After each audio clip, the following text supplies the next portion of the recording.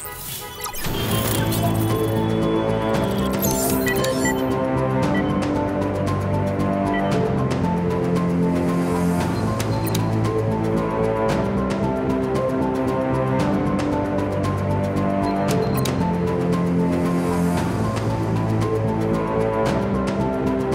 أنهت هذا اليوم اللجنة التحضيرية للمهرجانات والمؤتمرات الدولية.